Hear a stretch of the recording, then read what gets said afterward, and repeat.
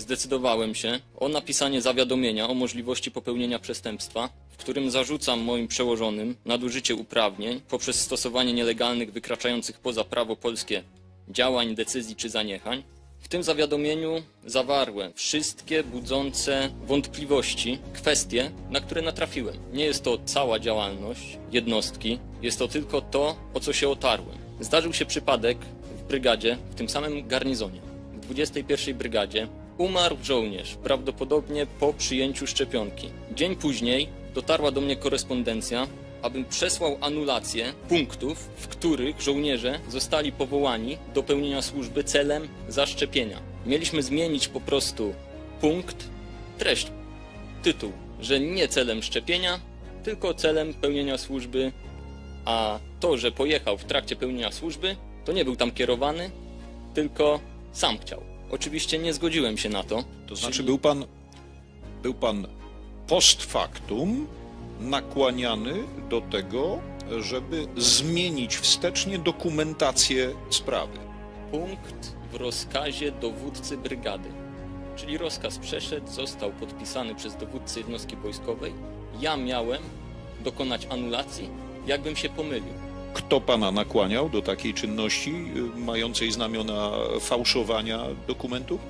Korespondencja wyszła z sekcji personalnej brygady, ale została wysłana do wiadomości dowódcy i zastępcy. Dodatkowo żołnierzom rzeczywiście nie są przyznawane miejsca na kursach. Żołnierz składa wniosek o przyjęcie na kurs podoficerski obrony terytorialnej, dostaje zgodę bezpośrednich przełożonych, trafia to do obiegu elektronicznego, do systemu.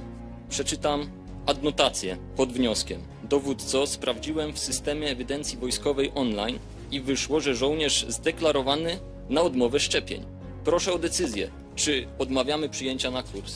Z tego wynika całkiem bezpośrednio, że jest w Wojsku Polskim prowadzona ewidencja żołnierzy, którzy przyjęli i żołnierzy, którzy nie przyjęli y, Dokładnie. propozycji udziału w tym eksperymencie medycznym. przy numerze PESEL, przy imieniu i nazwisku, rubryki, kiedy przyjął pierwszą dawkę szczepionki, kiedy przyjął drugą dawkę szczepionki, czy przyjął ją w podmiocie prywatnym, czy w resorcie obrony narodowej. To też moje zapytanie, dlaczego są takie informacje przetwarzane, jeżeli ja osobiście nie wyraziłem zgody?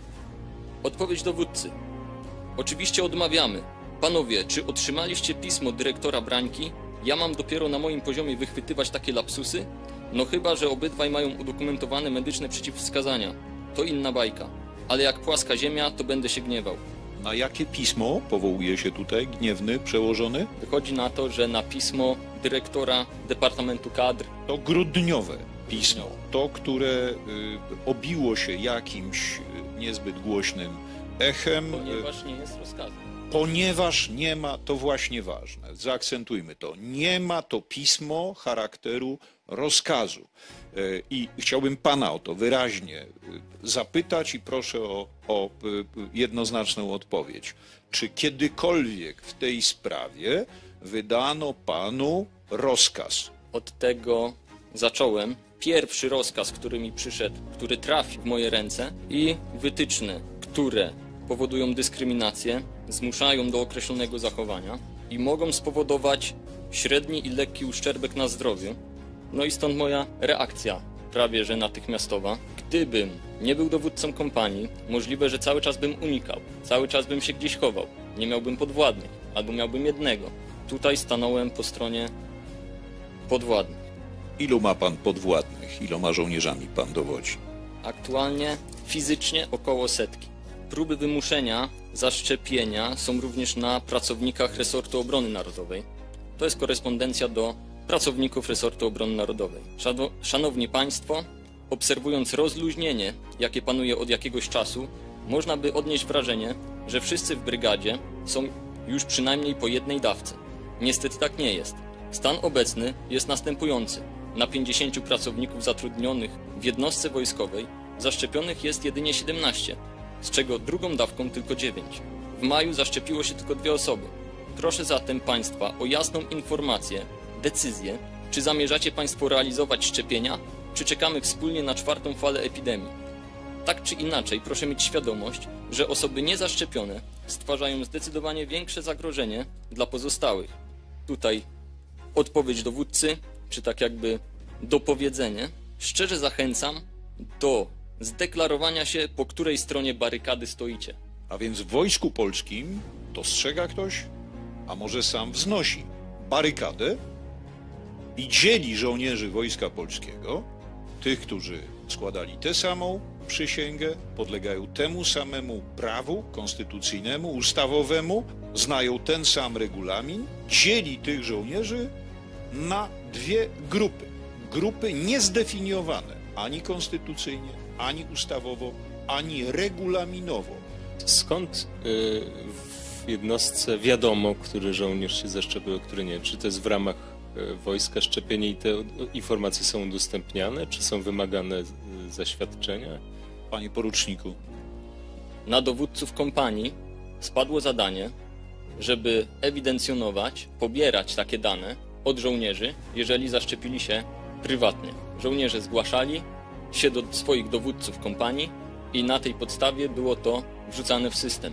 Między innymi tutaj była moja pierwsza bitwa z dowódcą brygady, bo wyraziłem swoją opinię, w której zawarłem, że nie zbieram od żołnierzy medycznych danych wrażliwych. I też nie spotkało się to z, żadną, z żadnym postępowaniem dyscyplinarnym, bo jako tako nie było podstawy, żeby ten rozkaz wydać. Żołnierzom, którzy się do mnie zgłaszali, mówiłem, dlaczego pan, pani mi to mówi, ja tego nie potrzebuję. Jeżeli napisze mi pani, pan, żebym taką informację przekazał do systemu ewidencji wojskowej, to ja ją przekażę, ale zaznaczam, że nie wiem, co się będzie dalej z tą informacją działo. No jak widać, czy jak już się przekonaliśmy, nawet jeżeli ktoś nie wyraził zgody na przetwarzanie takiej informacji, to informacja w systemie jest, że się nie zaszczepił i już mam konsekwencje służbowe z tego powodu. Rozumiem, że nie istnieje formalny rozkaz albo formalna procedura, y, wedle której formalnie rzecz biorąc żołnierze są zobowiązani do ujawnienia swojego zaszczepienia albo niezaszczepienia. Formalnie rzecz biorąc. Czyli formalnie rzecz biorąc, wojskowi nie wiedzą, kto jest zaszczepiony, a kto nie, bo mogą być ludzie, którzy są, a na przykład po prostu zgodnie z, z, z brakiem obowiązku nie zgłosili tego, teoretycznie rzecz biorąc. Teoretycznie. Ogólnie Rozumiem.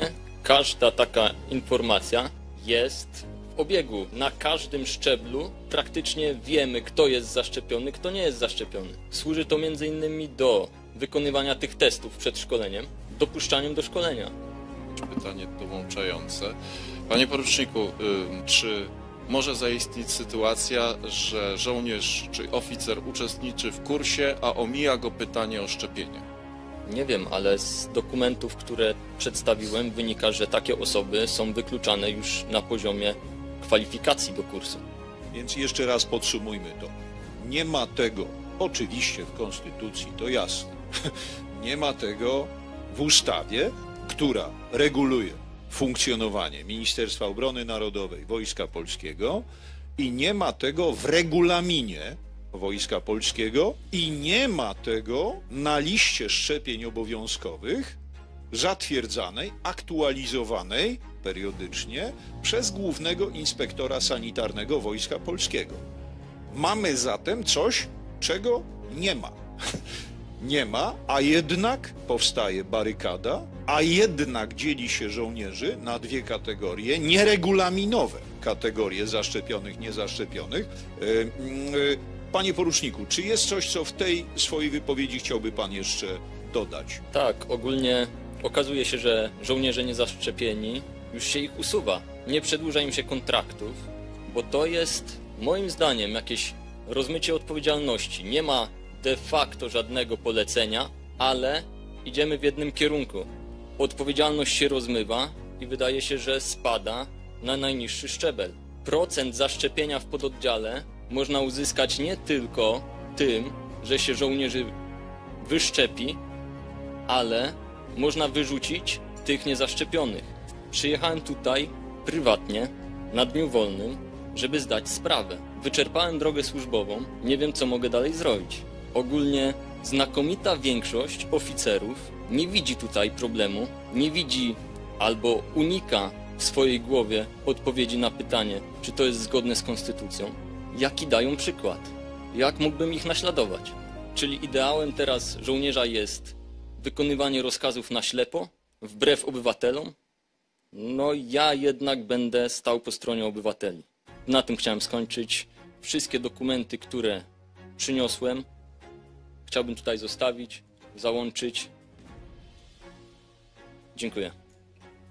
Bardzo dziękuję, panie poruczniku. Bardzo dziękuję. Te dokumenty załączamy do protokołu naszego posiedzenia. Jeśli pańscy koledzy przełożeni nie widzą tego problemu, to ja go tutaj pokrótce sformatuję. Szanowni Państwo, jeśli można w Wojsku Polskim nieformalnym naciskiem wyegzekwować od żołnierza takie czy inne działanie lub zaniechanie w jednej kwestii, to może potem nasuną się inne kwestie, już nie dotyczące stanu zdrowia, ale dotyczące na przykład misji bojowych. Jeśli jedną rzecz zrobi żołnierz nie na rozkaz, bez podstawy prawnej, poza ustawowo, poza regulaminowo, to dlaczego potem nie miałby uczynić drugiej, trzeciej? Przełożony, zapytany przez żołnierza, czy wydaje mu rozkaz, oczywiście uchyla się od wydania rozkazu. I otóż ten strzelec mówi do mnie: Jeśli dzisiaj nieformalną presją usiłuje się nakłonić mnie do takiej prostej i dla niektórych nieznaczącej czynności, jak poddanie się zabiegowi medycznemu o tym charakterze, to może jutro również nieformalnie będzie ktoś próbował wyegzekwować ode mnie zwrócenie lunety mojej broni w tym czy innym kierunku. I myślę, że zasadne jest patrzenie na te problemy właśnie w ten sposób. Nie wolno infekować służby wojskowej ani żadnej innej służby państwowej, mundurowej czy cywilnej uznaniowością, nieformalnym naciskiem. Bo jeżeli w tej sprawie przyjmiemy te reguły gry, to, e, to wtedy obowiązuje już tylko e, jedno: e, siła, dyktat, autorytet personalny, nacisk z góry, ale przestaje obowiązywać prawo.